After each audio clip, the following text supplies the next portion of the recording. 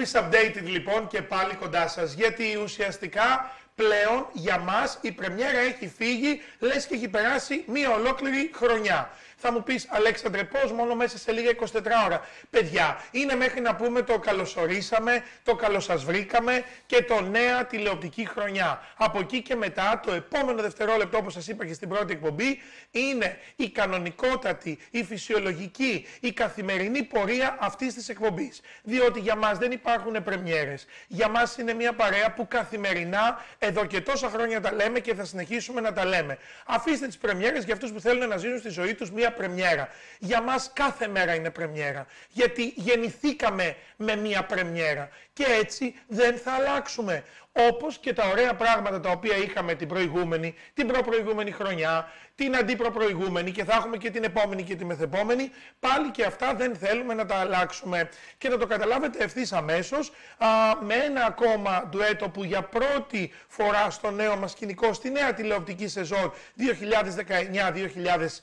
του Μήμου Peace Updated, είναι και πάλι κοντά μου σε ένα καινούριο σκηνικό, αλλά με ακόμα μεγαλύτερο πάθος για αυτό που κάνουν και με ακόμα μεγαλύτερες αλήθειες για αυτά που πρέπει να πούν ο εξωτερικός συνεργάτης ουσιαστικά πλέον έτσι μπορώ να τον αποκαλώ αφού πάντα δέχεται την πρόσκλησή μου για να είναι κοντά μας ο δικηγόρος ε, της εκπομπής που μας ενημερώνει για τα πάντα Χάρης Κατσιβαρδάς είναι εδώ και καλή τηλεοπτική σεζόν να έχουμε. Γεια σου Αλέξανδρα, καλή τηλεοπτική σεζόν και καλή χρονιά σε όλους. Βεβαίως από οποιαδήποτε, προς οποιαδήποτε κατεύθυνση και οτιδήποτε, με οτιδήποτε καταγίνονται. Και βεβαίως. Και βεβαίως ε, το κορίτσι, ε, αυτό το πολύ όμορφο, αυτό το χαρισματικό, αυτό το αγαπησιάρικο, αυτό που έτσι έχει ένα παιδί μέσα του και το εξωτερικεύει μέσα από τα θέματά της, η Κωνσταντίνα Παπαϊωάννου από τη στήλη για το παιδί. για... Δηλαδή Πόσα χρόνια, τέσσερα χρόνια έχω εδώ; Πέμπτο. Πέμπτο. Πέμπτο. Ε, και ακόμα αντέχω, Κωνσταντίνα και αντέχεις. μου. Πω, πω, πω, πω, πω, πω, πω, πω. Τελικά,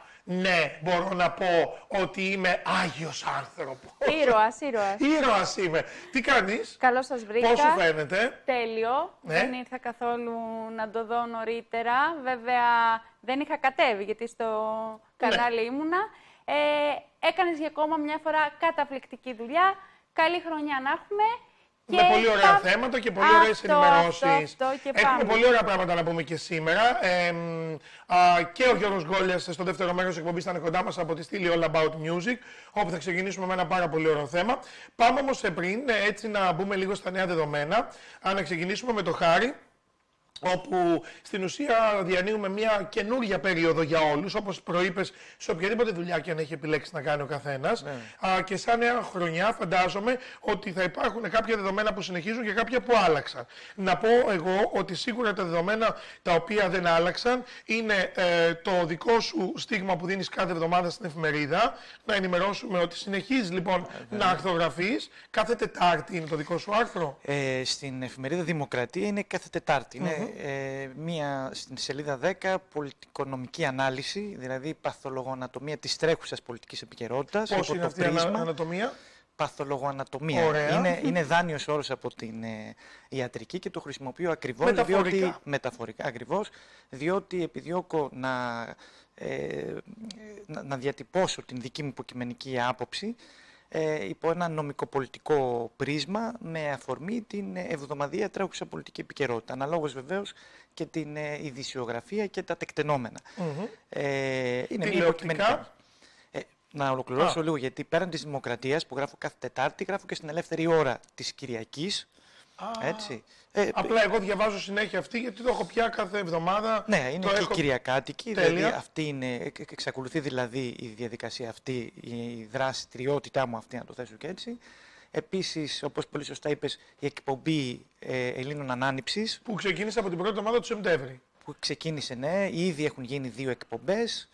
Ε, τώρα επίκειται η τρίτη και ουσιαστικά έχει αντικείμενο ε, επιστημονική ανάλυση, ε, όχι τόσο πολιτικοεπιστημονική, όχι ειδησιογραφική ενημερωτική, δηλαδή με αφορμή την επικαιρότητα, καλείται κάποιος ε, εκλεκτός προσκεκλημένος, ο οποίος αναλύει υπό το δικό του πρίσμα, υπό την δική του οπτική γωνία, την ε, επικαιρότητα πάντοτε όμως με γνώμονα τα επιστημονικά δεδομένα. Μπορεί να είναι κάποιος ε, ψυχολόγος καλή ώρα, μπορεί να είναι κάποιος ψυχίατρος, μπορεί να είναι κάποιος ε, δικηγόρος. Ε, ναι, κάποιες οποίος, φορές ε, και έναν καλλιτέχνη όμως. Βεβαίως. Που μπορεί εκείνος μέσα από τη δική του οπτική γωνία και από το, από το δικό του πρίσμα να δώσει τη δική του άποψη. Βέβαια, ασφαλώς. Α, να πούμε ότι η εκπομπή είναι κάθε Δευτέρα βράδυ στις 7.30 με 8, το βράδυ. και σε επανάληψη κάθε Παρασκευή πρωί 8 με 8. 8 Έτσι ανοίγουμε λοιπόν την εβδομάδα με ενημέρωση από το Χάρη Κατσιβαρδά και ουσιαστικά κλείνουμε και την εβδομάδα για αυτούς που πρέπει να επαναλάβουν ή να ξαναθυμηθούν κάτι.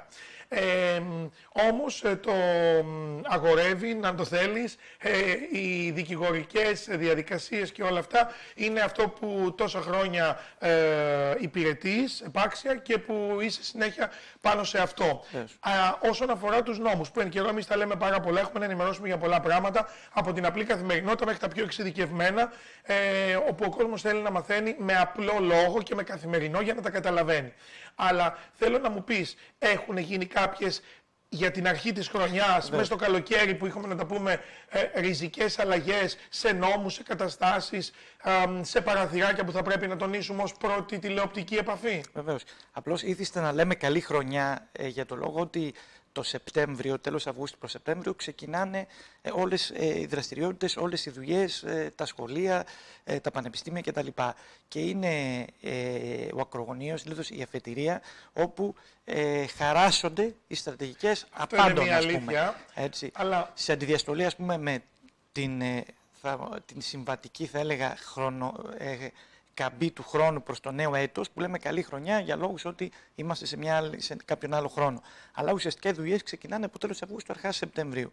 Ε, έτσι και στην, ε, στις τρέχουσες να πούμε ε, εξελίξεις ως προς ε, την ένομο τάξη ε, πέραν ότι ε, ξεκινάνε τα, τα δικαστήρια πλέον οι τακτικές διαδικασίες κανονικά διότι διαρκούντος του θέρους ε, διεξάγονταν οι δίκες αναφορικώς με ασφαλιστικά μέτρα προσωρινέ διαταγές, δηλαδή έκτακτες διαδικασίες, τόσο στο αστικό όσο στο διοικητικό όσο και στο ποινικό. Έτσι, ταυτόφορα φερρυπίν. Όμως οι τακτικές διαδικασίες πλέον δηλαδή αποκαθίστανται εντός εισαγωγικών η ομαλότητα και η κανονικότητα ε, της δικαστηριακής πρακτικής και καθημερινότητας από τα μέσα Σεπτεμβρίου και εντεύθεν. Ε, αυτό όμως το οποίο.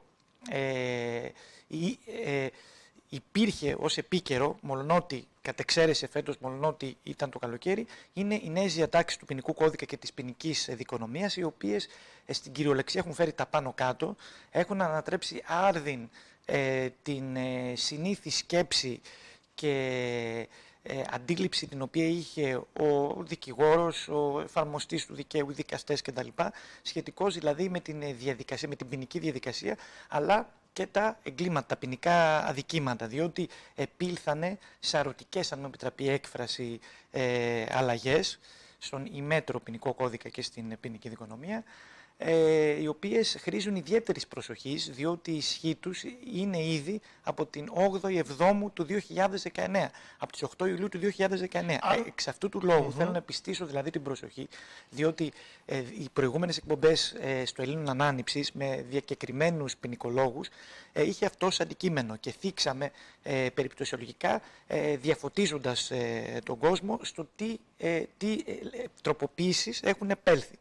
Τώρα αυτό το οποίο θέλω να πω ακροθυγός για να μην ε, κουράζω κιόλας είναι ότι ε, οι πολίτες οι οποίες έχουν ποινικές υποθέσεις, είτε πρόκειται για πλημεληματικού χαρακτήρα ή κακουρηματικού ή ακόμη και πτεσματικού, οι οποίες έχουν καταργηθεί φερρυπίν, ε, είτε επίσης πρόκειται για δικήματα αυτεπαγγέλτο ή κατέγκληση διοκόμενα, αντιλαμβάνονται αυτοί οι οποίοι ακούνε, ε, να σπεύσουν, να, να κάνουν ένα τηλεφώνημα στον δικηγόρο τους για να μην έχουν πρόβλημα απαραδέκτου. διότι έχουν τροποποιηθεί. Δηλαδή, ένα χαρακτηριστικό παράδειγμα για να καταστώ σαφής υπήρχαν εγκλήματα τα οποία εδιώκονται αυτεπαγγέλτο. Αυτό τι σημαίνει ότι μπορούσαν οποτεδήποτε να υποβάλουν μήνυση Φερρυπίν για μία απάτη εντός πενταετίας. Δεν απαιτούταν το τρίμηνο που είναι για τα κατέγκληση, όπως mm. Φερρυπίν μια συκοφαντική δυσφήμιση. Τώρα όμως ε, με το νέο ποινικό κώδικα κάποια δικήματα τα οποία ή το αυτεπαγγέλτο διωκόμενα ε, τροποποιήθηκαν ως κατέγκληση, προποθέτει τρίμηνο. Άρα, αν έχουν υποβληθεί ως αυτεπαγγέλτο, υπάρχει προθεσμία να επανυποβληθεί η έγκληση εντός τετραμήνου από την ισχύ του νόμου. Για να μην είναι απαράδεκτο, δηλαδή ένα παράδειγμα πρακτικό.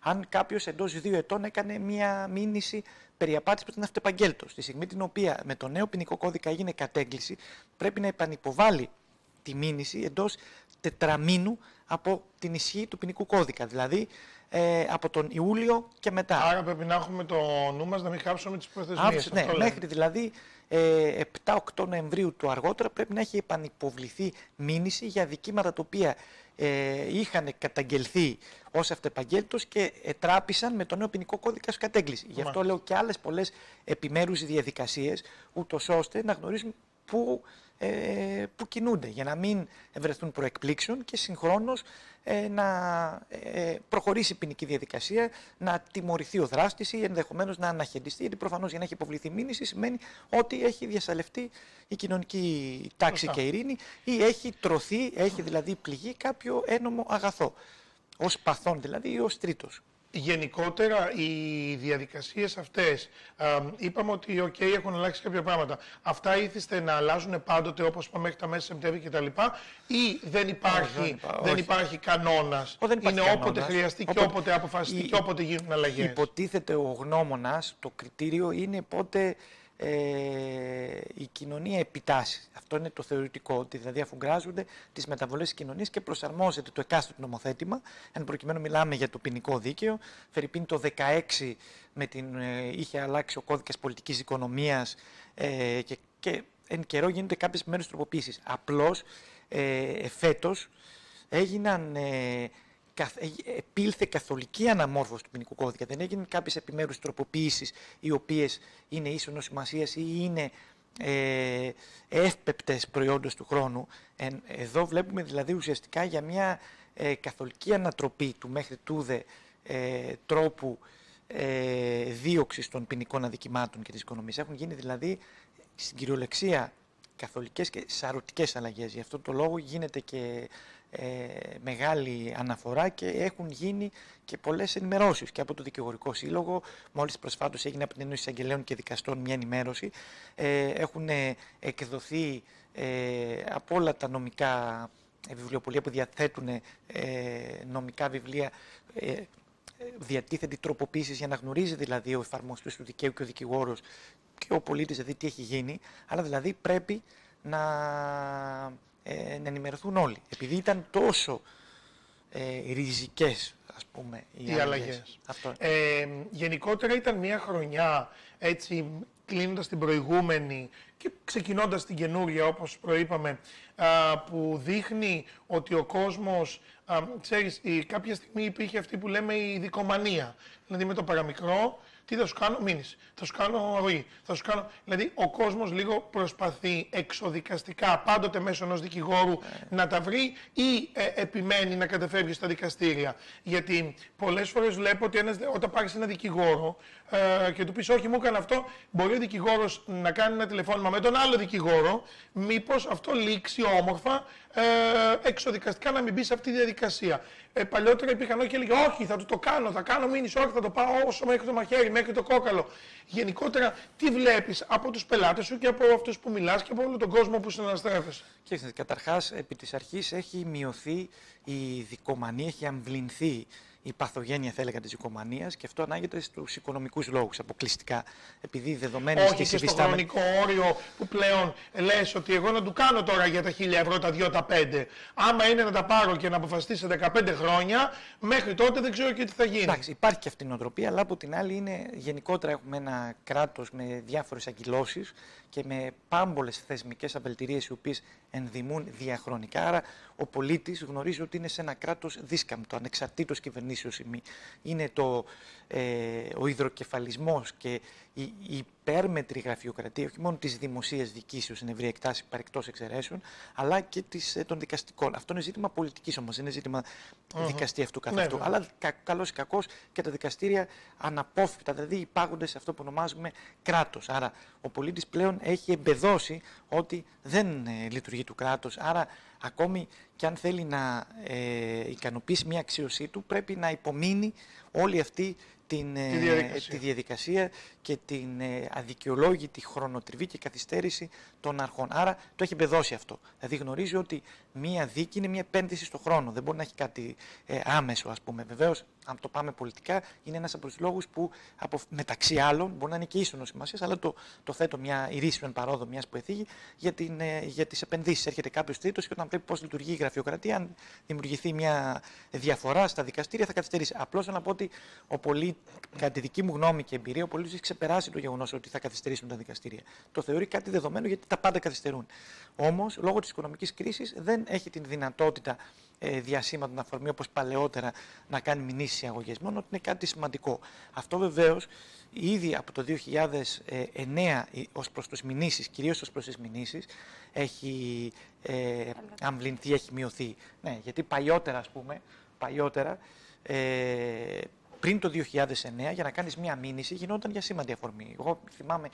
Τα πάντα. Γιατί έβαζε Γιατί μουσική έβαλες ο τον ποδήλατο γείτονας. εκεί, θα σου κάνω μήνυση. Θα Είχε πάω μια- στην αστυνομία. Υπήρχε, υπήρχαν ε, Και πολλέ φορές... φορές ρώτησαν οι αστυνομικοί, δηλαδή και στη α, γειτονιά μου, και λέγανε Μα τώρα βρείτε το, είναι κρίμα γι' αυτό, γιατί το σκυλί ε, σκυλί έκανε γανίζει εκεί το. φορές. Δηλαδή, ξέρεις, Κατάλαβα. είχαν μια μεγάλη. Μα υπήρχε μια υπόθεση όπου ε, κάποια κυρία του τρίτου ρόφου έκανε κατά της κυρίας του δευτέρου ορόφου, ή μάλλον η κυρία του δευτέρου ρόφου έκανε κατά της κυρίας του τρίτου ρόφου, επειδή είχε κάποιες γλάστρες και πέφτανε. Το νερό. Νερά. Τα πέφτανε νερά, ας πούμε, και τα λοιπά. Για φθορά ξένη ιδιοκτησία. Είχε βάλει φωτογραφίες ότι τα πλακάκια είχαν κυτρινήσει και μια τεχνική πραγματογνωμοσύνη ότι προέρχονται από το πότισμα της. Δηλαδή ζητήματα τα οποία θα μπορούσαν. Αυτά πλέον από το 9 και μετά, αν όχι εξαλείφθηκαν, μειώθηκαν διότι αυξήθηκε το παράβολο. Ενώ παλιότερα ήταν 10 ευρώ, από το 2009 και μετά, για να υποβάλεις μία μήνυ είναι 100 ευρώ το παράβολο. 120 Οπότε καλύτερα είναι. δίνεις ένα τεχνικό, έρχεται και 100 στο τώρα φτιάχνει πάλι αγάπη και μου να πω- και τελειώνει και η Μετά πήγες στα διαδικασία. 70, μετά πήγες στα 60 από Και τα τώρα 100. είναι στα 120. Με το νέο ποινικό κώδικα προς το παρόν, γιατί επίκυνται αλλαγές, δεν υπάρχει παράβολο. Αυτό το γνωρίζει ο Α. κόσμος. Α, εσύ μάλλον μιλάς για εξώδικο. Όχι, όχι, σωστά. τα- Από το 2009 Δεν ήταν ήταν κάποτε 100 ευρώ. 100. Ήταν 100 ευρώ. Ναι. Μετά είναι η πολιτική αγωγή 40, μετά τα γραμμάτια προέσχαν μόνο το παράβολο χωρίς Αυτό λοιπά το παράβολο. θυμάμαι. Πήγαινε να μετά, κάνεις σε κάποια που από το έριχνε νερό. 2017 Έκανα. και μετά έγινε ε, 60 το κατέγκληση και το 70 το ευτεπαγγέλτος. Δηλαδή, από το, δηλαδή το γεγονός ότι αυξήθηκαν κατά 120% α, ε, απέτρεψαν τον κόσμο. Όμως ερχόμαστε το 2019 με τον ε, ε, ενισχύ τώρα ποινικό κώδικα, ο οποίος τελεί σε εφαρμογή από, την, ε, από τις Ναι. 8 Ιουλίου του 2019 και δεν απαιτείται παράβολο. Άρα λοιπόν υπάρχει μια κερκόπορτα εδώ όπου πλέον μπορεί να αναβιώσει ε, Α, πολύ ο πόλεμος ωραία. των μηνύσεων. Εμείς Θα ανασταλεί βεβαίως, υπάρχει μια ανακοίνωση, δεν ξέρω αν είναι επίσημη πηγή, ότι θα επαναφέρουν, θα επαναφέρουν το παράβολο. Ε, τώρα η νέα κυβέρνηση με- και θα προωθήσει και μεταξύ άλλων κάποιες άλλες διατάξεις. Προς το παρόν όμως που μιλάμε, όποιο θέλει να κάνει έγκληση ή μήνυση δεν χρειάζεται παράβολο κατά την κατάθεση. Αχα. Δεν είναι προπόθεση παραδεκτού. Σωστά. Τώρα, αν δηλώσει πολιτική αγωγή για την υποστήριξη της κατηγορίας ή αν θέλει να εκπροσωπηθεί από δικηγόρο που θέλει γραμμάτιο προείσπραξη, δηλαδή άλλα έξοδα, είναι κάτι διαφορετικό. Αλλά κάποιος που θέλει να κάνει μια έγκληση ή μήνυση δεν απαιτείται ούτε ένα ευρώ παράβολο ενώπιον της αστυνομίας ή της εισαγγελίας. Βέβαια, εμείς όλη τη χρονιά, ε, γιατί έχω και πολλές ερωτήσεις δικές σας και πάρα πολλά πράγματα που κατά καιρούς θα σχολιάσουμε και ιδιαίτερα για τα καθημερινά σας, τα οικογενειακά σας, τα προσωπικά σας, ε, τους νόμους, ε, η περιουσία σας και όλα αυτά. Ε, ο Χάρης ο Κατσιβαρδάς, ε, συχνά πυκνά όποτε βρίσκουμε και έναν χρόνο, ε, θα είναι κοντά μας. Εμείς ε, ε, ξέρετε ότι ό,τι μας ζητήσετε θα το ρωτήσουμε και θα σας λύσουμε τις απορίες. Προς το παρόν όμως σας βάλαμε σε ένα γενικό κλίμα. Χάρη θέλω να σου ευχηθώ καλή χρονιά ε, καταρχήν στα αγορεύει, μετά στην τηλεοπτική σου εκπομπή α, και μετά και ε, στα άρθρα σου που αυτό εδώ και χρόνια το έχεις. Εάν έπρεπε να κλείσουμε μόνο με μια δική σου προσωπική ευχή ε, για τον κόσμο που μας ακολουθεί, που μας βλέπει αυτά τα τρία χρόνια που είμαστε εδώ μαζί, ε, για τη χρονιά που ήρθε. Μια ευχή με δύο λέξεις. Τι θα ήθελες να μείνει από σένα; Ε, Καταρχάς, πέραν τη καλής χρονιάς και υγεία, το οποίο είναι ένα θεμελιώδης αγαθό, έτσι είναι το διακύβευμα να έχουμε την υγεία μας, είναι το πρώτιστο. Υγεία και καλή χρονιά και υπομονή αυτό. Και το, αυτό το οποίο θέλω να πω είναι με περισσότερες από μια λέξη, που το, το Ελλήνων ανάνυψης να ανανύψουν και να αντιληφθούν ε, γιατί υπάρχει πίσω από τα τεκτενόμενα αυτά το οποίο βιώνουμε, υπάρχει κάποιος ηθικός αυτούργος. Τα πράγματα δεν είναι τόσο εξοραϊσμένα όπως κάποιοι θέλουν, γιατί υπάρχουν αντιφάσεις. Να οξυνθεί κριτική του σκέψη, να ανανύψουν και να εξακολουθήσουν με αμύωτο του αγώνα. Είναι το προσφυγές σύνθημα αν είναι εν παντή και πάντοτε και υπερπάντων αγώνας. Δηλαδή, μια τελευταία προσπάθεια να αποκτήσουμε πολιτική αυτοσυνειδησία. Όχι κομματική, τα κόμματα είναι κάτι άλλο. Δεν να γνωρίζουμε πώς λειτουργούν οι θεσμοί, οι αρχές, να ξέρουμε να είμαστε, είμαστε πολίτες, οπλίτες και η ψήφος μας να είναι μια σφαίρα για να μπορέσουμε να αλλάξουμε κάτι στον κόσμο. Αυτό ήθελα να πω. Χάρη, σε ευχαριστώ πάρα πολύ. Σε αποδεσμεύω βέβαια γιατί ξέρω ότι έχεις ε, τις δουλειές σου. Α, πάμε σε ένα μικρό διαφημιστικό και επιστρέφω με Κωνσταντίνα Παπαϊωάννου και στη θέση του Χάρη Κατσιβαρδά υποδεχόμαστε τον Γιώργο Γκόλια με το All About Music και η Κωνσταντίνα Παπαϊωάννου παραμένει στην παρέα μας ε, και νομίζω ότι μέχρι και το επόμενο Σαββατοκύριακο θα είναι στη θέση της.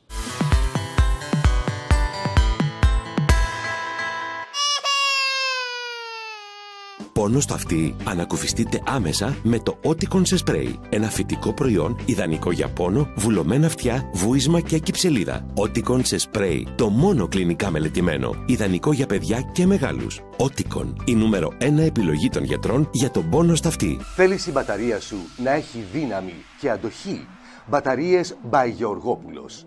Tiger, Thunder και GC by Γεωργόπουλος μπαταρίες φωτοβολταϊκών, αυτοκινήτων, μηχανημάτων, σκαφών, μοτό, UPS, start-stop, περιστέρι, ήλιον, χαϊδάρι. Τώρα και στην Αργυρούπολη.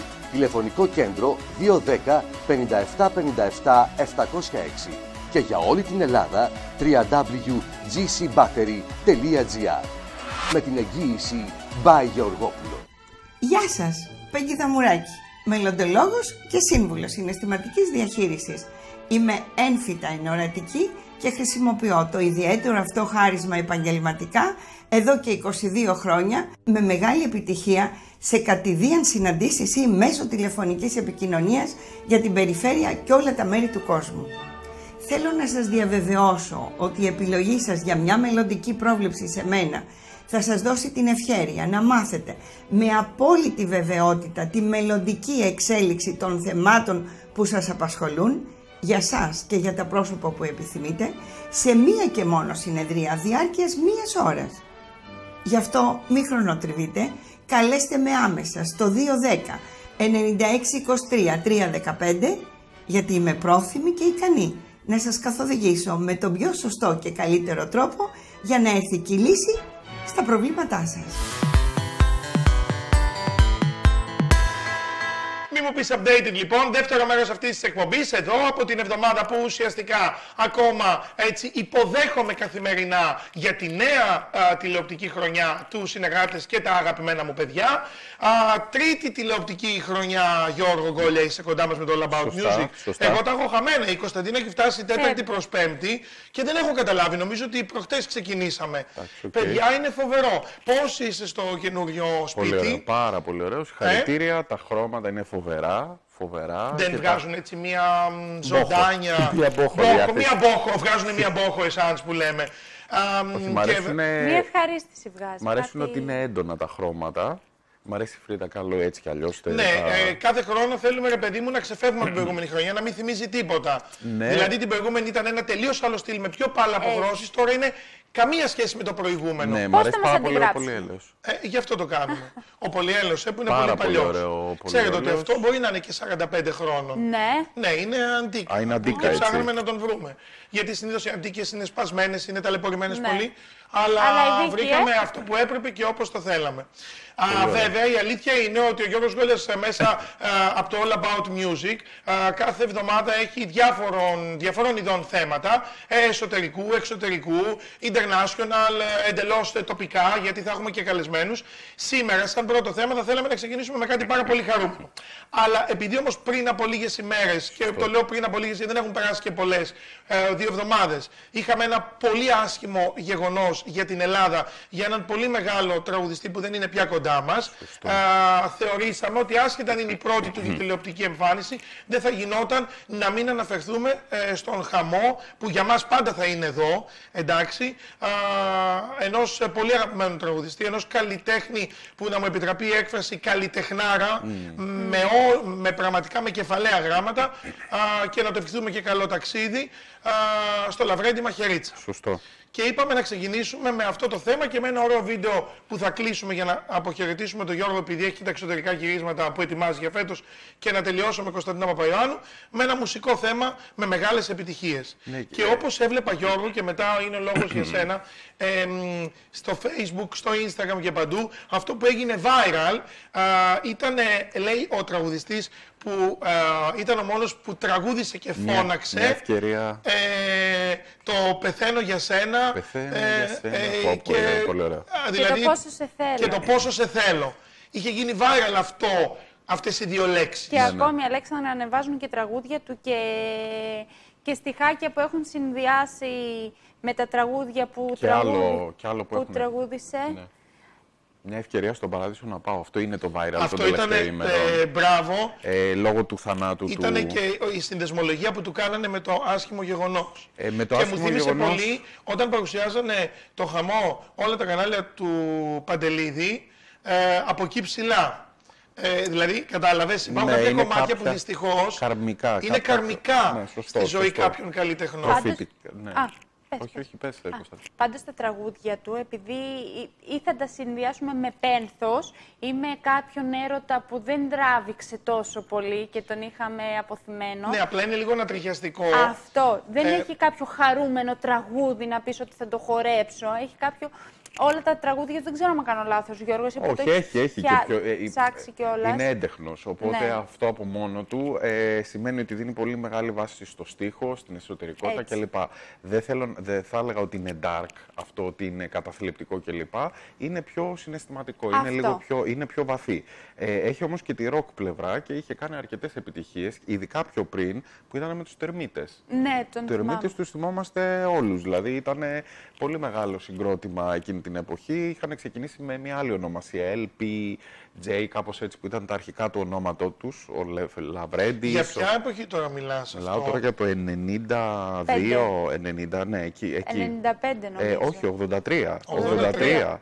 Ε, ξεκίνησε πριν, ε, πριν 20 χρόνια, είχε δημιουργήσει με τον Παύλο Κυρκυλή, Κρυλή και τον Τάκη Βασαλάκη, οπότε το συγκρότημα PLJ. Ναι, που είναι PLJ. PLJ. Παύλος, Λαβρέντης και Τζίμισος ο, ο άλλος. Και αυτό με το ονομάστηκε, όπου κυκλοφόρησαν και τον πρώτο τους δίσκο, αυτό με το ονομάστηκε σε τερμίτες. Το, ε, και μάλιστα έγινε κατά αντιστοιχεία των ε, σκαθαριών, Beatles. Α, Ναι. ναι. Beatles, καθάρια, Έχουμε τερμίτες. κάνει, Ε, είχαν γίνει πολλές σημειολογικές έτσι, αναφορές και εμ, ε, συγκρίσεις με τους, ε, με τους Beatles. Ε, εμ, ο Λαβρέτης Μαχαιρίτσας, να αναφέρουμε ότι πέθανε 62-63 Αρκετά χρονών. μικρός. Πολύ, μη- πολύ νέος άνθρωπος. Και από ανακοπή νομίζω διάβασα. Είχε κάνει, λέει, είχε κάνει κάποια εγχείρηση bypass και τον βρήκε η κόρη του χωρίς ε, αισθήσεις. Το ανατριχιαστικό, εγώ δεν, δεν είμαι ο φανατικός θαυμαστής του. Ε, έχει πει Εννοείς, πρα- δεν τον Ε, παρακολουθούσα εγώ, όλα αυτά τα εγώ, χρόνια ναι, ναι, ναι, ναι, στενά, ναι, αυτό, όχι ούτε κι αυτό. εγώ. Απλά αυτό είναι έτσι. μια, με- είναι Τα ένα τραγούδια ένα του τα ξέρω μεγάλος όλα καλλιτέχνης. όμως. Μπράβο. Τα ξέρω όλα, δηλαδή τα έχουμε τραγουδήσει όλοι και συνεχίζουμε και συνεχίζουν όλες οι γενιές να τα τραγουδάνε. Αυτό είναι το, το, στο πέρασμα του χρόνου ένας καλλιτέχνης κρίνεται από αυτό. Έτσι. Ε, το τι έχει προσφέρει σαφώς ε, καλλιτεχνικά, αλλά και το πόσο οι γενιές τον αγκαλιάζουν με τον ίδιο ακριβώς τρόπο. Είναι ένας άνθρωπος που όπου έχει εμφανιστεί, εμφανίζονται κάθε είδους ηλικίες, από μικρά έφηβοι ε, μέχρι ν- νέοι και μεγαλύτεροι άνθρωποι και έχει πραγματικά τους, ε, ε, τους σταθερούς του φαν, που είναι χιλιάδες. Και μάλιστα ήταν, ήταν ένας καλλιτέχνης ο οποίος ενώ ήταν της πρώτης γραμμής με τεράστιες επιτυχίες, δεν ήταν ο καλλιτέχνης της showbiz. Αλλά όλοι οι Low showbiz, profile, ε, low όλοι οι profile. showbiz πραγματικά ανέρτισε ε, κείμενα και Σωστό. φωτογραφίες. Δηλαδή καλλιτέχνες που δεν το περίμενες ότι μπορεί να έχουν σχέση. Κατάλαβες. Τελείως Σωστό. pop, τελείως show.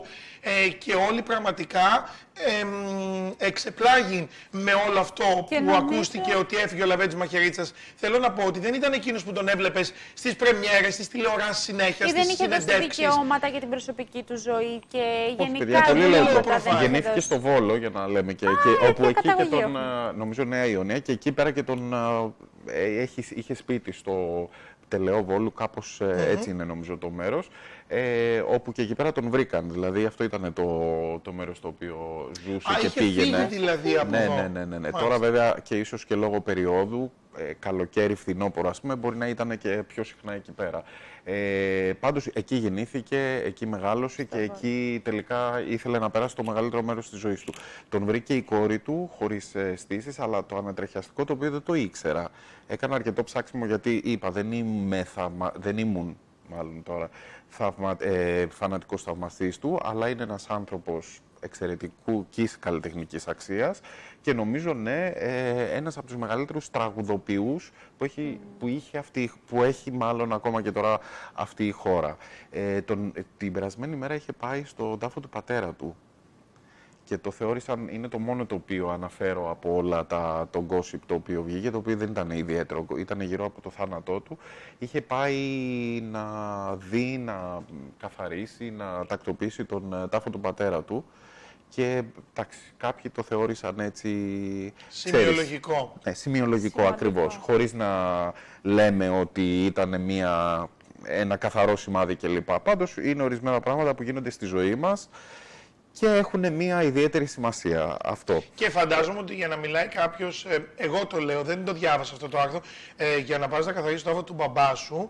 Ναι. Ε, φαντάζομαι ότι στην ηλικία αυτή, δεν έχω ακούσει αν έφυγε πριν τρία χρόνια ή πριν δύο. Φαντάζομαι ότι μιλάνε για έναν Τον οικογενειακό τάφο. έχασε, τον έχασε σε ηλικία 36 Άρα χρονών. μιλάμε για έναν οικογενειακό τάφο. Ε, Ακριβώς. μπράβο. Ο μπαμπάς ήταν 36, αυτός ήταν νομίζω 13 χρονών. Ήταν πάρα πολύ μικρός όταν τον έχασε. Άρα είναι χρόνια και είναι οικογενειακός. Και γι' αυτό ίσως τάφος γίνεται και είναι- πιο σημειολογικό όλο το Ακριβώς, γεγονός. ακριβώς. Μάλλον. Είναι- είναι- Ε, ε, το συγκινητικό μήνυμα το οποίο ε, μ, έχει γίνει και αυτό πολύ μεγάλη αναμετάδοση ε, άφησε, ανέκτησε κάτι η κόρη του για το χαμό του πατέρα της. ναι, δεν ναι. μπήκα να το διαβάσω γιατί να σας πω, διάβασα τον τίτλο, αλλά εγώ αυτά συνήθως δεν μπαίνω να τα ανοίξω να τα διαβάσω. Όπως και γιατί τα βίντεο με δεν ρίχνουν βλέπεις. και τα βίντεο δεν βλέπω αυτά, γιατί με ρίχνουν πολύ ψυχολογικά και στεναχωριέμαι. Και αποφεύγω να διαβάζω. Διαβάζω τον τίτλο, μου μένει ο τίτλος, αλλά δεν μπαίνω να διαβάσω τι είπε η κόρη του, γιατί μπαίνω στη δική της θέση Σωστό. και αυτό με κάνει για πολλές ώρες να μην είμαι καλά. Ναι. Οπότε τα αποφεύγω. Νομίζω ότι ήταν να δώσει κάποια συναυλία στο, στο Ηρώδιο, αν δεν κάνω λάθος, ε, η οποία θα ήταν ε, στο, το μαζί για το παιδί, θα ήταν αφιερωμένη και εξού ζήτησε η οικογένεια ότι έσοδα μαζευτούν από την, τα στεφάνια κλπ. Να, να κατατεθούν στο συγκεκριμένο, ε, για το συγκεκριμένο σκοπό, στο μαζί για το, για το παιδί. Ήταν ένα άνθρωπος low profile με τις ευαισθησίες τους, εξαιρετικής καλλιτεχνικής ε, ε, αξίας που έβγαλε τραγουδάρες στην πορεία του χρόνου. Πάμε να, κάνουμε μια αναδρομή σε αυτό. Ναι, είναι αξίζει. ε, έχει σπουδάσει μουσική στο Ελληνικό Οδείο. Γεννήθηκε το 56 στη Νέα Ιωνία Βόλου. Πέθανε στο Πτελεό που είναι άλλο, κομμάτι, ε, άλλο σημείο στον ε, Βόλο. Ε, Νέα Ιωνία, θυμάμαι, έχω πάει στο... Έχεις πάει Βόλο; Εκεί Έχω πάει μεγάλωσα. μόνο. Όμορφα. Πολύ όμορφο μέρος, ναι. Ε, έχει σπουδάσει μουσική στο Ελληνικό Οδείο. Ε, έχει περάσει πάρα πολύ ε, περίεργη και δύσκολη εφηβική και νεανική ηλικία. Όχι με την έννοια ότι, ε, ξέρεις, κακουχία κλπ. Γιατί ήταν σε μια... Οικονομικά. Ακριβώς. Έφτασε σε κάποιο σημείο να τον στηρίζει η γυναίκα του μέχρι να αποκτήσει. Ο άνθρωπος προσπαθούσε πραγματικά να βγει ε, με τα τραγούδια του και την ποιότητα του στίχου του και της σύνθεσής τους και τέτοια. Είχε προσεγγίσει πάρα πολλούς καλλιτέχνες, οι οποίοι, από τους οποίους έτρωγε πόρτα. Έτσι, ας τα λέμε έτσι Στην όπως καθ- είναι. στην καθημερινή μας. Ακριβώς. Ε, και έγινε νομίζω τον πάμε το διδημότυχο blues. Τότε, Κομματάκι. έτσι, μπράβο, ακριβώς. Δηλαδή, α, δεν είναι τυχαίο ότι όλοι το θυμόμαστε. Εγώ έκανα σκοπιά Παιδιά και σαν παιδί, τι λες τώρα, κάνω δηλαδή, όλοι. Ε, το, το διδημότυχο blues, το οποίο ήταν, ε, εντάξει, το, το ακούς και ανατριχιάζεις, ας πούμε, έτσι. Ε, αυτό ήταν το απόγειο, αφ- ε, έτσι ξεκίνησε να απογειώνεται η καριέρα του και να, να βγαίνει τελικά στην επιφάνεια, έτσι. Πάντως, μέχρι τότε πέρασε πάρα πολύ περίεργα και δύσκολα. Ε, ξεκίνησε τη μουσική εργαζόμενος στην αποθήκη της δισκογραφικής εταιρείας, η οποία τελικά του έκανε μετά τον, ε, το πρώτο άλμπουμ και ήταν με αγγλικούς στίχους, το 78 ξεκίνησε. Ε, ξεκινάει με αγγλικούς στίχους με το συγκρότημα PLJ, όπου ήταν οι άνθρωποι που ανέφερα ο Παύλος Κικριλής, Τάκης Βασαλακάκης. Το συγκρότημα λεγόταν PLG, Παύλος Λαβρέντης και ο Jim, Jimmy's, Τάκης. Ε, και μα, ακολούθησαν α, α, η- στη στρατιωτική του θητεία ήταν πάντα επαναστάτης. Ήταν, εμένα μου θύμισε λίγο την Τσέγκεβάρα και όλο αυτό το επαναστάτης. Στη στρατιωτική του θητεία αυτό δεν το γνώριζα καθόλου ε, και μου φάνηκε και λίγο έτσι περίεργο. Περίεργο. Άρχισε να τραγουδά, λέει Αντάρκτικα.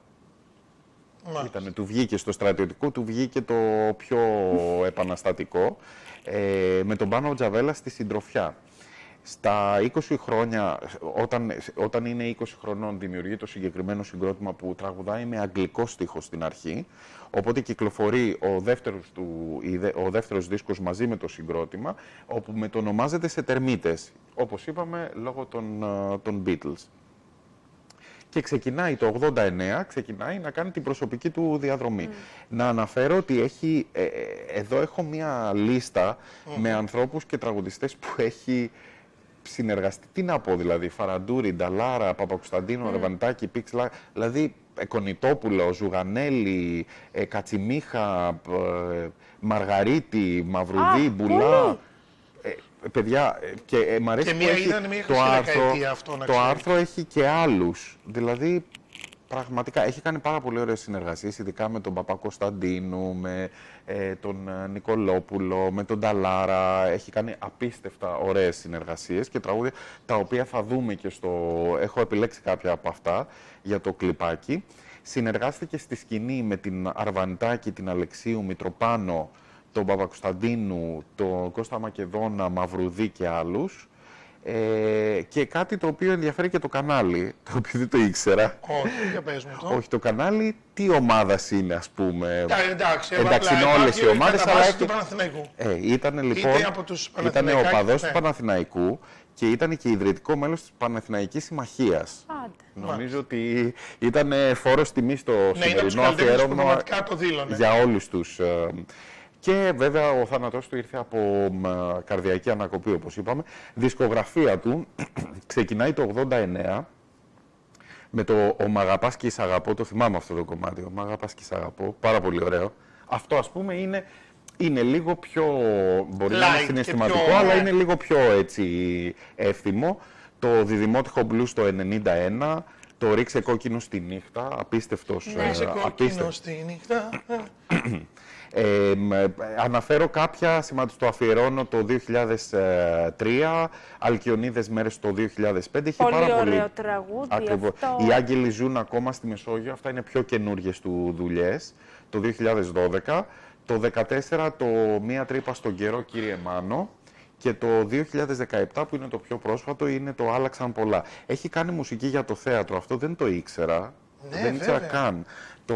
Έχει γράψει μουσική, λέει, για τις παραστάσεις όπως σας αρέσει, στο θέατρο τέχνης, στο Σέξπιρ το Τρικυμία, ο Μύρου Ηλιάδα, ο πρίγκιπας και ο φτωχός, χωρίς οικογένεια, η θαλασσοχώρα, τροάδες και ο πε... πεταλουδόσαυρος.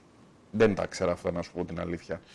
Ε, πάντως, ε, Κάνει πολλά και πολλοί καλλιτέχνες έχουν κάνει πράγματα που οι θαυμαστέ. Ε, δεν είναι Εβραίος. Τόσο Κοίταξε, θαυμαστές. ο άνθρωπος δεν είναι απλός τραγουδιστής. Ναι. έτσι. είναι δημιουργός. Είναι τραγουδοποιός, καλλιτέχνης. είναι καλλιτέχνης, είναι συνθέτης, είναι, έχει βοηθήσει πολλά νέα παιδιά και αυτός με τη σειρά του έχει συνεργαστεί με πάρα, πάρα πολύ σημαντικούς καλλιτέχνες. Εντάξει, άλλο επίπεδο, έντεχνο, rock Μπράβο, music. είναι άλλο επίπεδο. Άλλο επίπεδο. Ε, πάντως, ε, ε, πραγματικά στην είδηση και μόνο, γιατί νομίζω ότι πρωί άρχισε η είδηση αυτή να... Ναι, Ε, πρωί. τον βρήκανε νομίζω 6-7 παρατέταρτο το πρωί. Μόλις και εγώ θυμάμαι τότε ότι στο facebook έμπαινα να ανεβάσω κάτι και άρχισα και βλέπω την πρώτη είδηση. Δυστυχώς δεν είναι πια κοντά μας. Και στην αρχή ξέρεις... εγώ πάγωσα όταν ναι, το είδα, πάγωσα γιατί- και πήγα να δω και πιο κάτω αν το έχουν γράψει κι άλλοι. Και όταν είδα πια τα δημοσιεύματα Ναι, και τα ναι. facebook Κι εγώ να έτσι έγινε. σαρώνουν. Κι εγώ από το Facebook το πραγματικά είδα. άρχισα να καταλαβαίνω. Ε, θέλω να ε, εμείς ε, από την πλευρά μας καταρχήν να ευχηθώ καλή επιτυχία στη νέα τηλεοπτική σεζόν Καλή Γιώργο, αρχή, σε σένα. καλή αρχή, Ε, καλή η καλή συνέχεια. αρχή είναι σίγουρη. Συγχωρέστε μας που ξεκινήσαμε με ένα ο- όχι χαρούμενο γεγονός, αλλά όμως δεν θα μπορούσε να ξεκινήσει μουσικά αφιερώματα κάποιος, εάν δεν αποδώσουμε ένα φόρο τιμή σαν εκπομπή και ένα ε, καλό ταξίδι Σωστό. σε ένα τόσο μεγάλο καλλιτέχνη. Έτσι. Ε, μ, σε αποδεσμεύω ε, με ένα Αποδεσμεύσαι. βίντεο που έχεις ετοιμάσει Ναι, ναι, ε, να ναι. φύγουμε με μεγάλες Πολύ επιτυχίες ωραία. Θα συγκινηθείτε, που θα, θα μας συγκινηθείτε. συγκινήσουν και θα ταξιδέψουμε. Α, θα πάμε σε ένα break και θα γυρίσω με Κωνσταντίνα Παπαϊάνου τέτα τέτ. Αποδεσμεύω τον Γιώργο Γκόλια α, για το λόγο και μόνο ότι ετοιμάζει ένα βιντεάκι εξωτερικό που τις επόμενες ημέρε θα το δούμε. Και έπεσε την ημέρα ε, του γυρίσματος, αλλά δεν μπορεί όμως να λείψει ούτε από τη στήλη ούτε από το εξωτερικό. Γιώργο, σε ευχαριστώ. Και εγώ ευχαριστώ. Το βίντεο παρακαλώ και επιστρέφω στην καθημερινότητα. Που γράφεις δεν θα έρθεις για διακοπές Χρωστάς μαθήματα μου λες. Φωτογραφίες στέλνεις απ' το Λούβρο Και άλλες με το γάτο σου τον Τούρκο. Ο Τούρκος να πηδάει στα σκαλιά και ύστερα παιχνίδι να σου κάνει στη γάμπα σου να τρέμει μια ουρά.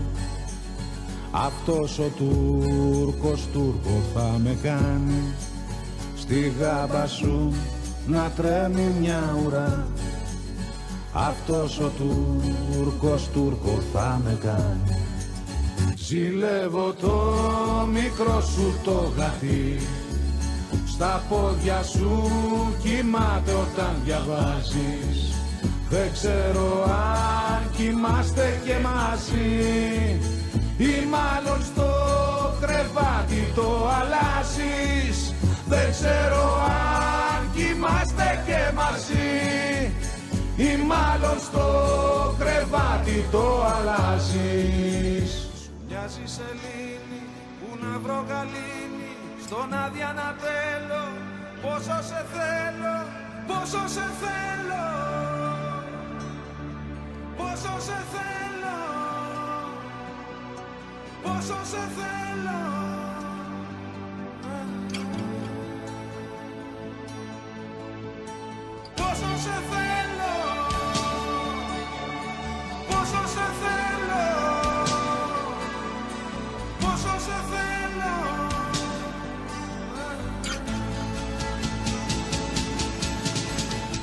ψυχούλα μου, έλα καρδούλα μου. Ξέρω δεν είσαι ό,τι δείχνεις. Άλλοι σε παίξανε, άλλοι σε μπλέξανε. Κλάψε γιατί όταν κλαις μικροδείχνεις. Δάγκω στα χείλη σου, είμαι μαντήλι σου. Σβήνω το πάγο από το βλέμμα. Έλα στραβάδι μου, πιάσω από το χάδι μου. Κράτα εδώ μη σε πάρει το ρέμα. Και τι ζητάω, τι ζητάω Μια ευκαιρία στον παράδεισο να πάω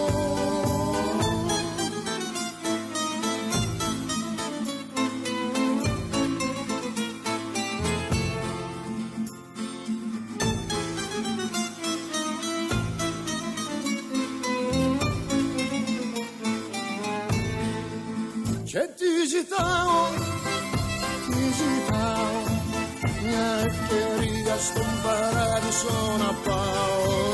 Και τι ζητάω, τι ζητάω Μια ευκαιρία στον παράδεισο να πάω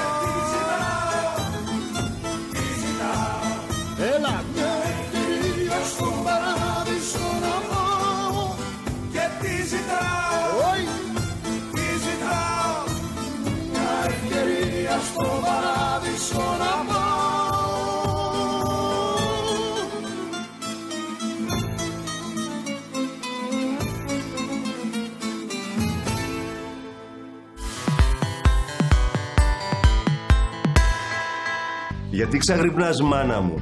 Τώρα υπάρχει λύση. Μελατονίνη SM σε σπρέι. Με ένα ψιτ και μύθηκες. Προσέξτε, το ψιτ κάτω από τη γλώσσα για να πιάσει αμέσως.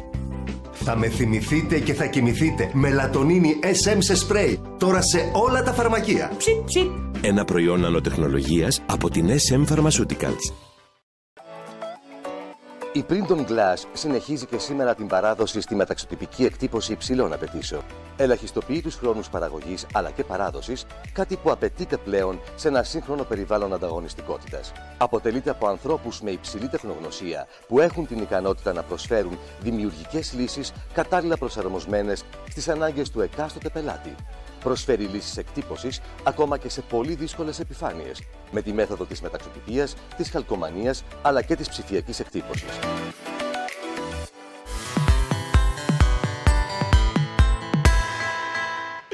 Μην μου πεις updated λοιπόν και πάλι κοντά στο τελευταίο μέρο αυτή της εκπομπής. Αποδεσμεύσαμε και αποδεσμεύσαμε. Μα δηλαδή γιατί δεν. Αποδεσμεύσαμε και το Γιώργο Γκόλια α, για το εξωτερικό του γύρισμα που έχει για την στήλη του τις επόμενες ημέρες. Θα το δείτε. Και κρατήσαμε την Κωνσταντίνα Παπαϊωάννου. Και μείναμε γιατί τα θέλω. δυο μας. Και τελειώσαμε και μείναμε μονάχοι που λέει. Ε, γιατί θέλω, ξέρεις έτσι, να, να μην χάνουμε και τη ροή της Αυτό, καθημερινότητας. αυτό, αυτό. Και θέλω έτσι, σαν πρώτο θέμα τηλεοπτικής χρονιάς, να το έχουμε τέτα τέτ. Κατάλαβες; Τέλεια. Για να σε συμμορφώσω για αρχή. Για λοιπόν, αρχή. τι έχεις ετοιμάσει σαν πρώτο θέμα; Η- Δηλαδή, εννοώ με το καλή χρονιά για τους φίλους μας, για τους Ξέρεις τι έχω μικρούς μας παρατηρήσει, φίλους. θα σου πω τι έχω παρατηρήσει. Ότι τελικά η αλλαγή της χρονιάς και αυτές που κάνουμε τις πιο πολλές αλλαγές και σε δουλειά και σε δραστηριότητες και σε επιλογή νέων... Ε, ε, ανα- Συντρόφων. Όχι, Α. νέων αλλαγών και νέων συντρόφων, δεν θα πω και όχι, Ναι. για, τους, ε, για τους μεγάλους μας φίλους, ε, ότι η αρχή γίνεται το Σεπτέμβριο και δεν γίνεται το Δεκέμβριο, έτσι πως λέμε, καλή χρονιά. Αυτό Το είναι έχεις μια αλήθεια. παρατηρήσεις. Πάντοτε το Σεπτέμβριο ουσιαστικά ε, είναι που βάζουμε τις, ε, τα νέα δεδομένα για να κάνουμε κάτι Ακριβώς. καινούριο. Γιατί, Φτιάχνουμε την γιατί έχουμε μια καθημερινότητά ολόκληρη μας. Ε, από θέμα χρόνου, χρονιά, ένα δεκάμινο, οχτάμινο, μέχρι τις διακοπές, κατάλαβες, που πρέπει να βγει και να περάσει. Φτιάχνουμε, Αλέξανδρο, την καθημερινότητά μας και δεν ξεκινάει αυτό που σου είπα. Το Δεκέμβριο ξεκινάει και το Σεπτέμβριο. Λέμε, θα ξεκινήσω γυμναστήριο, τα παιδιά θα τα γράψω νέες δραστηριότητες, θα προσπαθήσω να κάνω κάτι, κάποια πράγματα στο να φτιάξει η καθημερινότητά μου και να νιώθω ψυχικά υγιής. Είναι πάρα πολύ σημαντικό ο άνθρωπος που έχεις απέναντί σου, είτε είναι φίλος, είτε είναι σύντροφός σου, είτε είναι η οικογένειά σου η ίδια, να υπάρχει ψυχική ηρεμία. Είναι πάρα πολύ σημαντικό. Ε, η επιστροφή στο σχολείο, λοιπόν, Αλέξανδρε, μετά τις διακοπές του, Χριστου... ε, με- μετά τις διακοπές του καλοκαιριού. Και δεν είναι μόνο το καλοκαιριού, είναι και το Χριστουγέννων, είναι και του Πάσχα. Είναι πολύ σημαντικές για τα παιδιά. Πόσο μάλλον όταν πρέπει το παιδί να γυρίσει πίσω στα θρανία, στη δρα- στις δραστηριότητες του και στην καθημερινότητά του. Είναι πάρα μα πάρα πολύ δύσκολο για ένα παιδί στο να γυρίσει σε αυτή την καθημερινότητα όταν μετά από τρεις μήνες διακοπές και άλλα παιδιά είναι δύσκολο να προσαρμοστούν και για κάποια άλλα παιδιά θα πάρει κάποιες μέρες. Αλέξανδρε, αυτές, οι- αυτοί οι τρεις μήνες που περάσανε το καλοκαίρι, δυόμιση, όλα τα παιδιά δεν περάσανε τόσο καλά. Άλλα είναι πιο πιεσμένα γιατί οι γονείς τους αφήσανε σε διάφορες δραστηριότητες επειδή δεν είχαν χρόνο να περάσουν μαζί τους και άλλα παιδιά που δεν είχαν την οικονομική άνεση ή κάποιο φιλικό σπίτι στο να περάσουν και να κάνουν αυτά τα 5-10 μπάνια. Είναι πάρα πολύ σημαντικό, Αλέξαν, σε κάθε περίπτωση για κάποια παιδιά η περίοδος της προσαρμογής να περάσει και να ξεπεράσει τον πάνω από ένα μήνα. Για κάποια άλλα παιδιά είναι απλά κάποιες ημέρες. Εγώ πάντως, βρε παιδί μου, να σου πω κάτι, δεν ξέρω τώρα αν αυτό, δεν ξέρω πώς να το ερμηνεύσω, αλλά και σαν παιδί όσο θυμάμαι τον εαυτό μου και σαν έφηβος ε, και σαν ε, πιο μεγάλος, Σαν πιο μεγάλος. Σαν πιο μεγάλος. Καλά, δεν έχουν περάσει και ε, πολλά πραγματικά, χρόνια. Όχι, γι' αυτό, Α. γι' αυτό και δεν μπορώ να βάλω μια άλλη λέξη. Δηλαδή τώρα τα 5-7 χρόνια διαφορά από την εφηβεία δεν είναι πολλά. Αλλά ε, θυμάμαι ότι αμέσως γενικότερα στις καταστάσεις προσαρμόζομαι, ε, ε, δηλαδή πάρα πολύ γρήγορα. εγώ. Μπορεί μέχρι τις 31 ε, του Αυγούστου να είμαι διακοπές. Στη 1 του Σεπτέμβρη, λέμε, αν ξεκινούσα τη δουλειά και πήγαινα στη δουλειά μου, θα ήταν σαν χτες να μην ήμουν διακοπές. Ναι. Δηλαδή, δεν έχω αυτό το πρόβλημα, όπως π.χ. το έχει ο Φίλιππας, που πρέπει από τις διακοπές να περάσει άλλο ένα 40 ημέρο μέχρι να καταλάβει ότι έχει λιγότερο. έρθει κουμπιά. Δηλαδή, Το δανείζομαι λιγότερο. τώρα. Λέω τώρα, όχι ο Φίλιππας, τώρα έδωσα ένα όνομα, ο Βενετσάνο. τύχη. Ναι, για, κατά τύχη κι αυτό. Αλλά θέλω να σου πω ότι ε, δεν, εγώ δηλαδή προσαρμόζομαι. Σήμερα λοιπόν είμαστε στην εκπομπή. Αύριο μπορεί να φύγουμε και να πάμε στην Ταϊλάνδη. Και μεθαύριο να ξανάρθω στο στούντιο. Δεν θα έχω μείνει στην Ταϊλάνδη. Από τη στιγμή που μπω στο χώρο μου, έχω ξεχάσει την Ταϊλάνδη και είμαι εδώ. Ε, θα το παρατηρήσεις αφού έχεις μεγαλώσει κιόλας, ότι προσαρμόζεσαι πάρα πολύ εύκολα σε νέο χώρο, σε νέες παρέες, σε νέες ε, δραστηριότητες. Και εγώ, Αλέξανδρα, έτσι ήμουν όπως εσένα. Μπορεί μέχρι τις 31 Αυγούστου να έπαιζα, 1η Σεπτέμβρη ήμουν στα Θρανία. Αλλά και πολλά παιδιά γύρω μου, έβλεπα ότι άλλα ήταν, χαζεύανε, άλλα κοιμόντουσαν πάνω στο θρανείο. Ναι, γιατί, έχουν μάθει όλο το καλοκαίρι αυτό που κάνουν το λάθος και λέει: Μωρέ, καλοκαίρι είναι, άστο να κοιμηθεί και μία και μία μισή. Μα μετά, όταν πας το παιδί να το βάλεις ξαφνικά από τις 10 για να σηκώνει το πρωί 7, Πάρα δεν πολύ μπορεί αμέσως, δύσκολο. ε, να συνηθίσει ο οργανισμός του εκεί που κάθονταν μέχρι τις 2 ότι πρέπει να κοιμηθείς στι 10 και στι 9. Ποιο είναι το σωστό, Αλέξαν, και δεν θυμάμαι αν το είχαμε πριν, πριν ε, αν το είχαμε πει στο προηγούμενο διάστημα. Το πιο σημαντικό, Αλέξαν, είναι ότι το παιδί μένει να το αφήσουμε λίγο χαλαρό ε, το καλοκαίρι, αλλά η βασική, το βασικό πράγμα που πρέπει να κάνουμε είναι ο, ε, η ώρα του ύπνου. Το παιδί κοιμάται στις 8, δεν θα κοιμάται στις 4 το πρωί, θα κοιμηθεί στις 12. Και Αντίστροφα, μετά, όταν πλησιάζει να ανοίξουν τα σχολεία, δεν θα κοιμάται στις 12, θα κοιμάται στις 10. Και σιγά σιγά θα το πάμε πάλι στις 8. Σταδιακά. Είναι πάρα πολύ σημαντικό μια οικογένεια να καταλάβει τις ανάγκες του παιδιού. Βεβαίως. Όλη η οικογένεια. Γιατί δεν γίνεται εγώ να είμαι 28 και ο αδερφός μου ή η αδερφή μου να είναι 10. Πρέπει Ε, να δεν γίνεται να κατανοήσω... είσαι 28. Πρέπει να κατανοήσω τις ανάγκες του αδερφού μου και να μην κάνω 28 φασαρί. είσαι. Ναι, Βρε, εγώ από τα 24 σε πήγα εδώ. 23.